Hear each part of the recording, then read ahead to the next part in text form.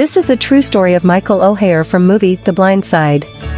Michael aka Big Mike, who grew up in a rough neighborhood, encounters Leigh Anne Tuohy, a compassionate woman who offers him shelter and support.